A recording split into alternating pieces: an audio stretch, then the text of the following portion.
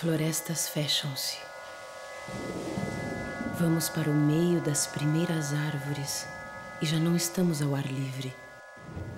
A floresta nos engole. Uma vez lá dentro, temos que ficar até que ela nos deixe sair. Não há pistas que nos guiem através da sua perfeita segurança. As árvores estremecem com um som como o de saias de tafetá de mulheres que se perderam nos bosques e desesperadamente procuram uma saída. Um riacho de margens fofas de pântano corre pela floresta, mas torna-se sombrio nessa época do ano. A água silenciosa, preta, torna-se espessa, regela-se. Tudo vai cair, tudo vai desabar.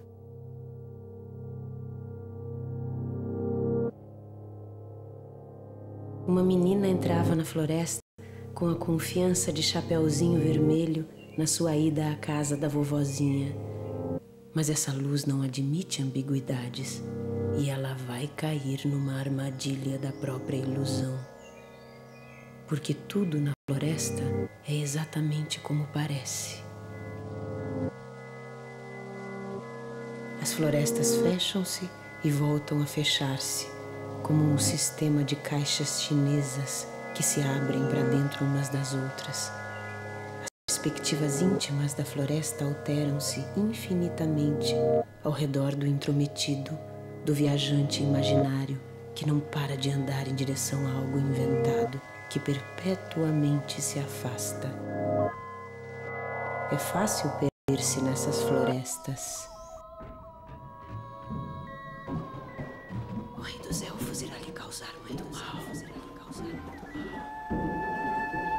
Andei pela floresta até que todas as suas perspectivas convergiam numa clareira que escurecia.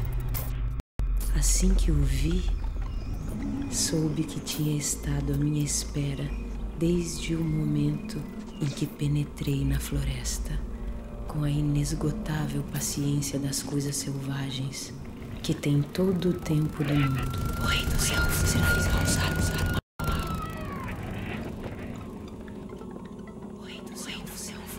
Ele sorri, põe de lado o cachimbo, na verdade um apito de atrair pássaros. Coloca sobre minha mão irrevogável olhos que podem nos comer.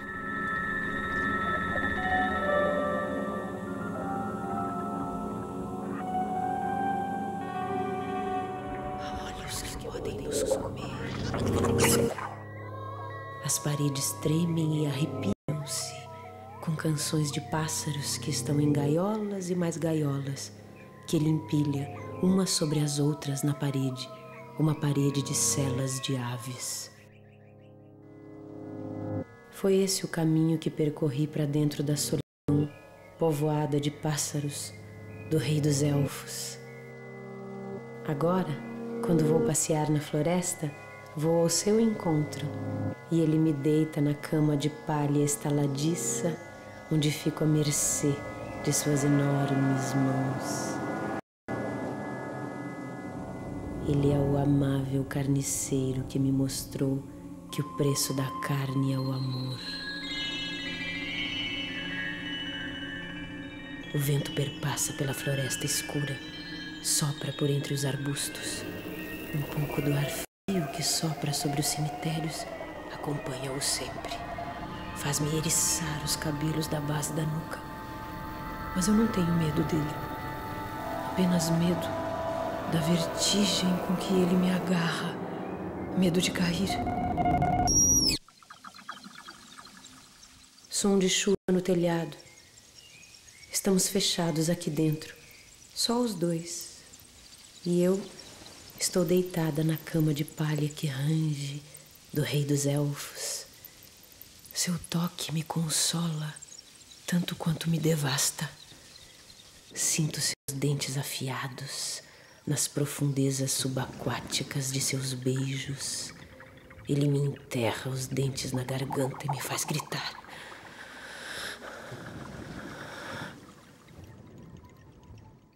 Certa vez fui a perfeita nos prados do verão, mas depois o ano mudou, a luz mudou e vi o desolado rei dos elfos, alto como árvore, com pássaros nos ramos, e ele me puxou para si um laço mágico de música inumana.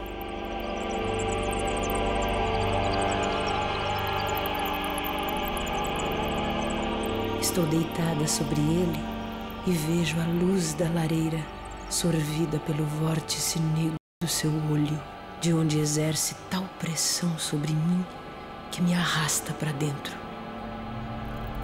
Que grandes olhos você tem! Olhos de incomparável luminosidade, a fosforescência terrífica dos olhos do lobo Há um buraco negro no meio dos seus olhos. É o centro fixo. Olhar para aí causa-me vertigens, como se pudesse cair dentro. Serei puxada para dentro desse redemoinho negro e consumida por você. Ficarei tão pequena que você me poderá guardar numa das gaiolas de salgueiro e troçar da minha perda de liberdade. Já vi a gaiola que você está fazendo para mim é muito bonita e ficarei sempre nela, entre as demais aves canuras. Mas muda de despeito. Quando percebi o que o rei dos elfos pretendia, fui assolada por um terrível medo e não soube o que fazer, porque eu amava de todo o coração.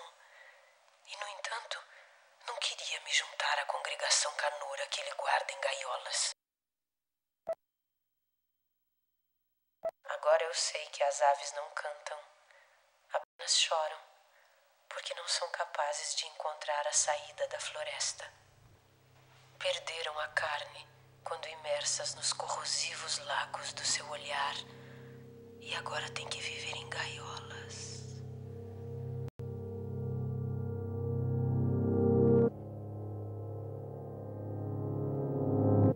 Às vezes ele põe a cabeça no meu colo e deixa-me pentear-lhe os longos cabelos. Há silêncio como num sonho diante do fogo crepitante. Tremem minhas mãos.